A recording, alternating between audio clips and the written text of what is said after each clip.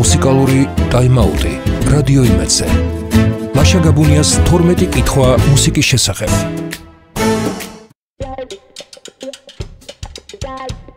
გამარჯობა მე ვარ წერალი დათო ტურაშვილი. რა არის მუსიკა ჩემთვის? ხელოვნების დარგი რომელიც სიამოვნებას მანიჭებს თუ უფრო მეტი? ხელოვნებაზე მეტი შეიძლება მხოლოდ თავისუფლება იყოს ამიტომ მუსიკა უფრო მეტია ვიდრე უბრალოდ რაღაც დარგი თუნდაც ხელოვნების რადგან ისე აღმოჩნდა რომ ჩემი ცხოვრების თანამდევია და სხვა შე ძალიან საინტერესო ალბათ ჩემთვის პირველ რიგში რომ სანამ დავიწყებდი წერას მესმოდა მუსიკა მარტივად რო თქვა მაგრამ არ ვიცოდი ნოტები, არ ვიცოდი ამის გადატანა როგორ შეიძლება მომეხერხებინა და სამწუხაროდ ამ ხმებს კარგავდი, რომელიც ჩამესმოდა. ძალიან უბრაზობდი, რომ მეორე დღეს ქრებოდა ეს მუსიკა. მოკლედ, ვიწვალე სანამ სხვა ხმები არ ჩამესმა, ეს იყო სიტყვები, ასოები და მოკლედ დავიწყე წერა. თორე ისე თავიდან მუსიკოსი ვიყავ. უბრალოდ არ შემდგარი მუსიკოსი. ასე რომ მუსიკას გაცილებით დიდი და მნიშვნელოვანი ადგილი აქვს ჩემს ცხოვრებაში, ვიდრე უბრალოდ სიამოვნებას. როგორ დავიწყე მუსიკის მოსმენა? მიღებული მაქვს თუ არა მუსიკალური განათლება და ვაგროვებ თუ არა ჩანაწერებს? მუსიკალურ განათლებას არ მიმიღია, არანაირი განათლება, თუმცა ბავშვობიდანვე ისეთი მნიშვნელოვანი იყო ჩემთვის მუსიკა, რომ რა თქმა უნდა ვაგროვებდი. პირველი ფილფიტა მქონდა ძალიან პატარა ასაკში, მეზობელმა მაჩუკა, ზაზა შუღაია. ეს იყო 4 სიმღერიანი თხელი ცისფერი ფილფიტა ჯგუფი Beatles 4 სიმღერა რა თქმა უნდა ზეპიათ მახსოვს. და ნამდვილი როგორც ჩვენ მაშინ უწოვე დისკი მაჩუკა ჩემმა კლასელმა და მეგობარმა ლაშა ფხაკაძემ ეს იყო ჯორჯ ბენსონი. ეს იყო ჩემი პირველი ორი ესე იგი დიდი დისკი როგორც მაშინ უწოდები და პატარა თხელი ცისფერი ფილფიტა აქედან დაიწყო და კი ვაგროვდი რასაკვირველია ძალიან მიყვარდა მუსიკის მოსმენა და ჩემი ბავშვობა დაიწყო დისკებით და კასეტებით, კასეტების ჩანაწერები, ну მაშინ ძალიან ბევრი იყო მთელ საქართველოში. არის თუ არა მუსიკა ჩემი რომელიმე ლიტერატურული ნაწარმოების ერთ-ერთი შთამაგონებელი, რასაკვირველია არის, ძალიან ხშირად ხდება ხოლმე რომ მუსიკა იწვევს უამრავი ნაბიჯის ბიძგია და მით უმეტეს აზროვნებაში და მით უმეტეს შემოქმედებაში. ნამდვილად ასე ხდება, შეიძლება ერთი გერაც კი აღმოჩნდეს არა არა თუ მუსიკალური ნაწარმოები. ციგზე მუშაობის დროს ფონად თუ მაქვს მუსიკა ჩართული და თუ უსმენ. ყველგან წერ, ყველგან მიწევს წერა, მაგრამ როცა მიწევს კომფორტულად ასე ვთქვათ, სახში და იმ გარემოში სადაც მუსიკა აუცილებლად ჩავთახო მუსიკა ძალიან შეამოვნებს წერა მუსიკის თანხლებით. როგორც წესი ვიწყებ ხოლმე მოცარტით და როგორც წესი ვამთავრებ ხოლმე როლინგ სტოუნს მიგ ჯეგერით ეთყობა ეს უკვე ასაკობრივი ამბავია თორე ისე მიყვას კლასიკური მუსიკაც და კლასიკური მუსიკის დაწყება. ვინ იყო ის შემსრულებელი რომელიც ადრეულ ასაკში ყველაზე მეტად მოუწოდნენ და მუსიკის მოსმენა დამაწყებდნენ ну რასაკურველია ისე როგორც ყველა ბავში ალბათ დედამიწაზე აუცილებლად გადააწლება ბითლს ეს სხვა შეიძლება ჩემი შვილების თაობის მაგალითზეც დავაკვირდი და აღმოვაჩინე რომ იგივე ხდება. იცეთ მუსიკას უსმენ ხოლმე ზოგჯერ ხო იცით მათი ოთახიდან ისეთი ხმები გამოდის როგორც ალბათ ჩვენი მშობლები რომ ჩვენი გემოვნებაზე გიждდებოდნენ იგივე პროცესია მაგრამ აი მათაც კი აი ჩემ შვილებს რომელსაც ეხა სამყარო გახსნილია და დიდი არჩევანები მათაც კი ვერ აუარეს გვერდი Beatles, რა თქმა უნდა, ჩემს ბავშვობაშიც იყო, მაგრამ იყო სხვა ჯგუფებიც, მყავდა მეგობარი, ამუკან ადირაშვილი გადასარევი ადამიანი და ძალიან მაგარი ფეხბურთელი სამწუხაროდ ადრე გარდაიცვალა და მას ძალიან უყვარდა ჯგუფი Queen. მე პირიქით, მე მიყვარდა, მე ვიყავი უფრო Pink Floyd-ის მომხმარებელი და ფანი და სულ კონდა ეს კამათი მახსოვს და სანამ კარგა დიდები არ გავხდით, ვერ ხვდებოდი როგორ შეიძლება Queen ყოფილიყო, ესე იგი Pink Floyd-ზე უკეთესი, მაგრამ და ისევ ვერ ხვდებოდა რატომ უნდა იკამათო მუსიკალურ გემოვნებას გვიარ მივხვდი? იმიტომ რომ ადამიანი არის ინდივიდი და ყოველს თავის გემოვნება აქვს და ყოველს თავის არჩევანი აქვს და ყველა მართალია თავის არჩევანში. რომელი ეპოქის მუსიკა უფრო მიზიდავს და მუსიკალურ ჟანრებს რომელ მათგანს ვანიჭებ უპირატესობას მუსიკა არის ციგნი ციგნივით და ლიტერატურასავით ჩემთვის როცა მუსიკისადმი ინტერესს და მიდრეკილებას განსაზღვრავს კონკრეტული დღე ამინდი განწყობილება დიმიტრი უზნაძე ასაკი, ხასიათი, ნუ უამრავი ფაქტორი, სხვადასხვა დღეს სხვადასხვა მუსიკის მოსმენა მინდება ხოლმე, ნუ ასე ვარ და არა მაქვს რაც თავარია ესეთი სეგრეგაცია, არა მაქვს გამოჩემება და დოგმატიური დამოკიდებულება მუსიკისადმი, რომ აი თქვა რაღაც ჟანრი არის კარგი და რაღაც არის ცუდი. როგორც იყო საბჭოთა პერიოდში ლიტერატურაში, მაგალითად, ითვლებოდა, რომ სამეცნიერო ფანტასტიკა ეს არ არის სერიოზული ჟანრი, რაც არასწორია, იმიტომ რომ ყველა ჟანრში შეიძლება შექმნა გადასარევი ლიტერატურას და გადასარევი მუსიკაც და მახსოვს შემაშულმა წამიყვანეს. იყო ასეთი ფილმი მერვე მილი თუ არ ვწდები ემინემის მონაწილეობით და ამ ჟანრის მუსიკა საერთოდ არ მქონდა მოსმენელი საერთოდ მეღიმებოდა ესე იგი. რეპზე მეღიმებოდა მათ გემოვნებაზეც ვინც ესე იგი და მიკვიდა უბრალოდ მიკვიდა ყველაფერს დავიდან რომ როგორ შეიძლება ჰიპ-ჰოპი იყოს ასეთი საინტერესო და ბოლოს თუ გახსოვთ ეს ფილმი მისი სიმღერით თავდება მოკლედ მაშინ დავფიქრდი, რომ შეიძლება ნებისმიერი ჟანრის მუსიკა იყოს კარგი, თუ ამას კარგად აკეთებს ავტორი და ისა მუსიკოსი და მოკლედ იმ დღეს ესე იგი ამ ჩემი შულების დამსახურებით შემეცვალა რადიკალურად იმ ბავშვების დამსახურებით ვინც იმ დარბაში იყო. ყველა ჟანრი ტერმინოლოგიითაც კი პირობითი მგონია ლიტერატურაშიც, მუსიკაში და საერთოდ ყველა ხელოვნებაში და პირიქით მგონია რომ ყველა კარგი მუსიკა ყველგან შეიძლება იყოს. რაც შეეხება ეპოქას YouTube-მა და ესე იგი ტექნოლოგიებმა ეს რადიკალურად შეცვალეს, იმიტომ რომ აზრი დაკარგა დისკებში ფულის გადახდა, შეგიძლია ძალიან სწრაფად გამოიყენო ინტერნეტი და YouTube-ზე ნახო ნებისმიერი შემსრულებელი, ნებისმიერი წელი, ნებისმიერი კონცერტი და ნებისმიერი ვერსია. და ეპოქა ახლა რა ეპოქაშიც მინდა გადავახომე, გადმოახომე და რასაც მინდა იმას მოусმენ ეს ძალიან მაგარია, თუმცა ყველაზე მეტად აი ცოცხალი კონცერტის ალტერნატივა არ არსებობს. ანუ ცოცხალი კონცერტი იმდენად შთამბეშტავია, რომ შეიძლება იმასაც კი დავესწრო, რაც ჩემთვის არ არის ყველაზე საყვარელი ჟანრი და ისე ვისარგებლო შემთხვევით ვიტყვი, რომ ესე იგი ინიციან ჩემმა მეგობრებმა ჩემი დამოკიდებულება და სამჯერ დამპატიჟეს მიგ ჯეგერის Rolling Stones-ის კონცერტზე. სამჯერ და ბავშვებს აღმოვაჩინე, ესე იგი საიდუმლო მიგ ჯეგერის, რომელიც რადიკალურად განსხვავდება იმ ჭორისგან, რაც თბილისში და საქართველოში არსებობდა ათეული წლების მანძილზე, რომ ისეთი კაი იმას იკეთებს, რა ქვია, წამალს ნარკოტიკს იღებს, რომ რა მოკლავსო და აღმოვაჩინე მისი საიდუმლო, რომელიც არის მარტივი და გენიალური. ჯერ ესეთი ისე ვარჯიშობს, სუტყული ყოფილა ეს ქართული მითები 75 წელს ადამიანის, ჩემი თვალით მაგ ნახი 3 საათი შეუსვენებელი როგორ მოზაობს ცოცხალ კონცერტის დროს და მივხვდი რომ მისი საიდუმლო არის სწორედ იმ აუდიტორიაში და ხალხის მიერ შევსებული სტადიონები და იქიდან იღებს ამ ენერგიას და არ ვიცი პანდემიის დროს რა ეშველება მიგჯეგებს, იმიტომ რომ ეს კონტაქტი თუ არ ექნება, შეიძლება უბრალოდ მოკვდეს. თორე ისე რაც ფული აქვს, კი წამოწევებული და კაცი და დაისვენა 75 საათში, მაგრამ როგორც ჩანს, მან ზუსტად იცის, რომ ეს ენერგია იმ ხალხისგან ჭირდება.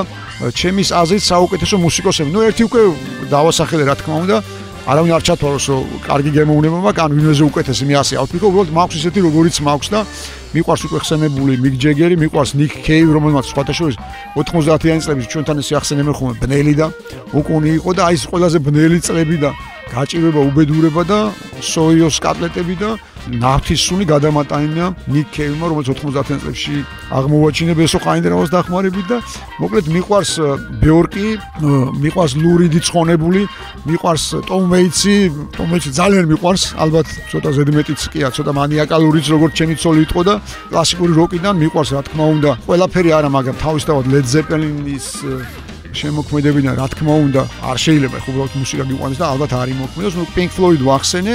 ნუ ბევრი მიყვარს საერთოდ მუსიკა მიყვარს მოკლედ მაგის თქმა მინდა რა შეიძლება ჩვენს მუსიკოსებს ქართულ მუსიკოსებს მიყვარს რა თქმა უნდა ჩვენი კლასიკური მუსიკა ნუ ჯერსეთი მიყვარს ჩვენი მრავალხმოვანება პოლიფონიური მუსიკალური კულტურა რომელიც უნიკალურია დედამიწაზე ესე ჩვენსავით მარტო კორსიკელები მღერიან ნუ დაახლოებით ჩვენსავით მეტი ვერავინ ამ ხრივაც გამორჩეული ხალხი ვართ და ძალიან მუსიკალური ანალოგი არ გვაქვს მიყვარს რა თქმა უნდა კიდევ ქართული სიმღერები რომელიც სხვადასხვა იტალიელების გავლენით შეიქმნა მე-19 საუკუნეში იყო თბილისში იტალიური ოპერა შეიძლება იცით და ყველა ეს მუსიკოსი იყო იტალიელი მომღერალი იტალიელი ესე იგი ორკესტრის წევრი ყველა იტალიელი დირიჟორი ბარბიერი იყო ისიც იტალიელი მოკლედ ეს ხალხი მე ოპერა დაიწვა თუ დაწვეს დარჩა საქართველოსში და ესე იგი ზოგი იყო ნაპოლიდან და ამიტომ ეს ნაპოლიტანური ჰანგები შემოიტანეს და განსაკუთრებით დაიტაცეს სხვადასხვა იმერეთში. იმერეთის ყველა სოფელში თითო სიმღერა მაინც შექმნილი. რადგან იმერეთი ვახსენე, ასაკვირველია თანამედროვე მუსიკა თითაშის garaში არ არის, იცით ალბათ, ალტერნატიული მუსიკის ის დედაქალაქია.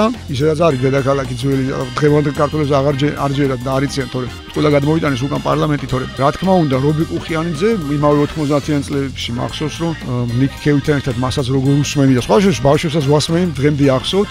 მისი ჯგუფი აუთსაიდერი, ნუ ქუთაისელები იშხნელები, რა თქმა უნდა.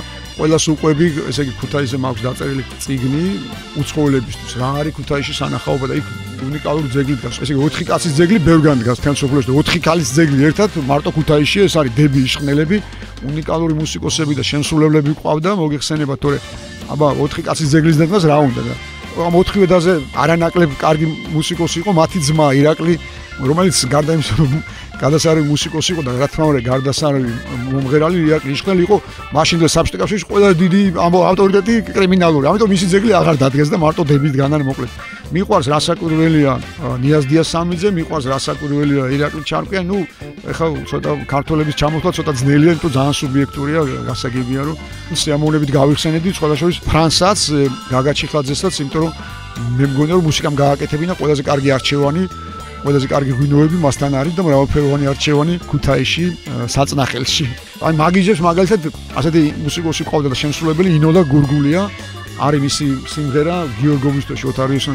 ვერაფერ ვერ ხსნი როგორ შეიძლება ადამიანი ასე ღეროდეს. აი ჩემი ესე იგი წირი მუსიკალური განათლება და შესაძლებლობა ესე ამაზე მისაშუალო ამოხსნა ეს საოცარი ფენომენი როგორც იცით ალბათ რომ ამოხსნელი იყო მაგალითად ჰამლეტ გონაშვილი ყავდა ასეთი მომღერალი რომელიც ვერაფერ ვერ ამოხსნა ვერავინ ესე იგი მისი საიდუმლო რადგან პოლიფონია ვახსენეთ იყო ასეთი მე-20 საუკუნის უდიდესი ალბათ გენიალური კომპოზიტორი იგორ სტრავინსკი რომელიც ყველაფერი ამოხსნა გარდა ესე ქართული მუსიკალური ფენომენი. ვერაფერ გაიგო როგორ შეიძლება მართლა არსებობდეს გურული სიმღერა თუ მოგისმენთ ესე იგი ისეთი მრავალხმოვანებაა რომ ზოგ სიმღერაში 7 ხმა არის განსხვავებული და ესე ისეთი კონტრაპუნქტია და ისეთი ჰარმონია რომ მართლა ძალიან ძნელია ამის დაჯერება რომ ესე იგი 7 ადამიანი დგას ზოგი რას ვღერი ზოგი რას და შეიძლება გაგიჟდე როგორც ტრამისკის დაემართა ტრამისკის საყვარელი იყო კოკო შანელი კოკო შანელი რუსთან რო სექსი გაქვს ყველაფერი კი უნდა ამოხსნა წესით მაგრამ ეს მაინც ვერ ამოხსნა ესე გურული სიმღერის ფენომენი. მოკლედ ჩვენ დიდარი ხალხი ვართ და ბოდიში მქართველებს ვინც ვერ დავასახელე ან უნებლიეთ გამომრჩა მოკლედ დღევანდელ სოფლიო შოუ ბიზნესში რა არის კარგი და რა რას ხედავ უარყოფით. არ ვაკვირდები ხა შოუ ბიზნესის და საერთოდ ბიზნესში ძალიან სუსტი ვარ. ესე იგი ძალიან ადრეულ ასაკში მივხვდი რომ ესე იგი ვერანაირ ბიზნესში ვერანაირი წარმატება ვერ მექნება და ამ ხრივ ჩემი ცხოვრება სულ იქნებოდა ისა წვალება. კიდე კაც ჩემი ცოლის მე მივხვდა და ამიტომ არ არის არ ვერ პრეტენზიები არ აქვს. ესე გავატარეთ ბევრი წელი რომ ძალიან დიდ განსხვავებას ხედავ დანარჩენ სამყაროს, ანუ ნორმალურ სამყაროსა და ჩვენს შორისაც ადამიანები მეცინება ხომე გამუდმებით მიმართავენ თავრობას, რომელმაც უნდა დააფინანსოს მუსიკა და ისა შოუ ბიზნესი. ამაში პირიქით, ანუ სხვა ქვეყნებში პირიქით და შოუ ბიზნესი აფინანსებს იშვიათ კულტურას, მაგალითად ფოლკლორს, მაგალითად კლასიკურ მუსიკას და ასე შემდეგ. ანუ ეს ცოტა აბსურდულია, რომ ესე იგი მიგ ჯეგერმა თხოვს მაგალითად რა თქმა ბრიტანეთის თავრობას რომ იქნება კონცერტი მომიწყე და ეს ასასოდ ვერც აუხსნა, ვერც გააგებინებენ ეს ალბათ ვერცეთ მუსიკოს დასავლეთში რა იგულისხმება ჩვენი მომღერლები. ნუ ბევრი არ ყველა არა მაგრამ ნუ ძალიან დიდი ნაწილი რომ პერიოდულად მიმართავს ხოლმე თავრობას რომ რატო რატო არ გვეპატიჟებით თქვენ იმაზე რა ქვია ხა წარმოგიდგენთ ჩვენ რასაც ყვიდით ეხლა ბუდიშამ შედარებისთვის არ მინდა ვაწყენი მუსიკოსებს მაგრამ საქართველოს ეხლა წარმოგიდგენ საქართველოს რა პატარა ბაზარია მაგალითად ციგნისთვის ანუ ციგნის გაყიდვა ხო გაცილებით რთულია და გაცილებით იოლია მუსიკის და სიმღერის გაყიდვა. ეს ხო გაცილებით მარტივი. აი 1000 ჯერ და არასოდეს აზრად არ მომივა რომ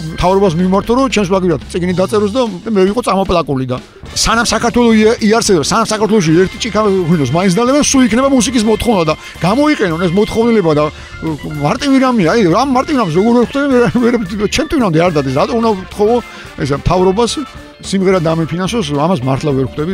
სიამბლეში შეუვლეთ იარო, სოფოსოფო, როგორც მე დავდივარ, აბა, ну, არ ვიცი, მოკლედ შეიძლება ყველა არ დამეთანხოს, მაგრამ მე ვერ ვიგებ, ზუსტად ვიცი, რომ დასავლეთში ასე არ ხდება, პირიქით ხდება. რამდენად ვეცნობი ახალგაზრდა ქართულ შემსრულებს და თუ შემიძლია მათგან ვინმე გამოვყო. ну, მე შემიძლია გამოვყო გადაცემა, რომელიც მაძლევს საშუალებას, რომ ძალიან ბევრი ქართული შემსრულებელი აღმოვაჩინე აკუსტიკა, აი მართლა ალბათ ყველაზე წარმატებული ამბავია ქართულ ტელესიფრში. ჩემნარი ადამიანებს, ვისაც ამდენი დრო არ აქვს, ზდი დიო და ვეძებო და ესე ყურადღება მივაქციო. ჯეროვანი ახალგაზრდა და ახალ შემსრულებს ამის შესაძლებლობას მაძლევს მარტივად აკუსტიკა და მათ მადლობა მინდა. უთხრა ვინც ამ განაცემას აკეთებს რომ მართლა მნიშვნელოვანი საქმეა თუმცა აქვე მინდა ვიდეო შეგარდება შემთხვევით და თქვა რომ ესე იგი რამდენ არხზე გადის რამდენი სრულიად ჩემთვის მიუღებელი კონკურსი რომელსაც ხან მეგაშოუ ქვია ხან რაღაც იგონებენ სახელებს და ესე იგი სიამბლეში ეს კონკურსები იდეაში არის მცდარი და იმიტომ რომ მე ეს ხალხი ვინც ვარსკვლავი ხდება ზოგი მეგა ვარსკვლავი და ქრება კონკურსში თავდება და აღარ სადარჩან რატო? კონკურსი უნდა იყოს არა მომღერლებს შორის რომლებიც ასრულებენ სხვის სიმღერებს ზოგჯერ 60 წელს წინ დაწერილ სიმღერებს. არამედ კონკურსი უნდა იყოს შემოქმედებით პროცესში. ანუ თვითონ კომპოზიციების, თვითონ სიმღერების კონკურსი უნდა იყოს და შემსრულებელი ხო ისედაც დაკავდება. რა თუნდა მაგას მარტივი ლოგიკა გიждდები ხოლმე, როგორ ვერ ხვდებით ამას. ამაში უნდა იყოს, რომ ჩვენ წავახალისოთ ადამიანები, ვინც ქმნიან მუსიკას. იმიტომ რომ სხვა ქვეყანაში, ამერიკაში ეს შეიძლება ფუფუნება იყოს, რომ მომღერლების კონკურსი. ჩვენ ამის პრობლემა გვაქვს, რომ ადამიანს, რომელიც მუსიკას ქმნის, მას ჭირდება დახმარება, მას ჭირდება ხელის წაშლება, მას ჭირდება თანადგომა. თუნდაც ფინანსური დახმარება ყველაზე მეტად და არა შემსრულებელი. შემსრულებელი მივა ბოლო-ბოლო რესტორანში იმღეროს და რატო არ უნდა იმღეროს, რა ქვია? დამყოფი ვარ Blue Note-ში. 20 კაცი ეტევა იქ Dizzy Gillespie მოკვდა იქ 20 კაცი უსმენდა თერი ცხოვრება. ყველა დიდი ჯაზმენი უკრავდა 20 კაცი. რა სამარცხვინო ის არის რესტორანში? სან როგორ შეიძლება ერთი ადამიანიც უიждდეს ის რა ქვია რესტორანში ერთი ადამიანის გამოც ჩამიტარებელი ოშგუშგულში ვარ ნამყოფი. ოთხი მსმენელი მყავდა სულ წავედი ფეხით ფაქტობრივად უშგულში და მუსიკოსისთვის რა უნდა როგორ შეიძლება იყოს სამარცხინო რამე აუდიტორია? საქართველოს მომღერის პრობლემა არასოდეს არ იქნება. ჩვენზე ნიჭიერი დედამიწაზე ხალხი არ არის ანერად იქნება. დედამიწაზე არასდროს საოპეროსო დასისაც რამდენიმე ქართული არ არის დასის წევრი. და საუკეთესო შემსრულებელი. როგორ იქნება თემ სოფლოს ვამარაგებთ ეს პატარა ქვეყანა. მომღერალი როგორ გაგვიჭირდება სკოლაში რა ფორმით უნდა ისწავლებოდი მუსიკა? მე მახსოვს რომ ერთი სიმღერა მახსოვს მარტო. ჯიმი ზანგის ბიჭი პატარა ასეთ სიმღერას მე მგონი მთელ საბჭოთა საქართველოს ყველა ასწავლდნენ მაგრამ ჩემ მასწავლებელი კი მახსოვს შეიძლება სხვასაც ამას ასწავლინდა და იგივე ეს ლაშა ხაკაძე მახსოვს ჩემი კლასელი ოღონ ამას თავისი ინიციატივით ღეროდა ხოლმე სანტა ლუჩიას გამოვიდო და შემოდებდა ხელს პიანინოს თავზე და მღეროდა სანტა ლუჩიას. ასე გადიოდა ჩვენი მუსიკის გაკვეთილები. სამწუხაროდ სხვა არაფერი არ მახსოვს და მე ეს შეკითხვის კონტექსტი ძალიან მომწონს, რომ რა თქმა უნდა იქ სადაც მუსიკალურად გემოვნებით და ანუ როგორც კულტურის და ცივილიზაციის ნაწილი ასე იზრდება ადამიანი, რა თქმა უნდა მისთვის ცხოვრება წარმატების საიდუმლო მარტივი ხდება რა, მოკლედ მუსიკა დიდი ძალაა. ალბათ ყველაზე გენიალური და ყველაზე მარტივი ენაა.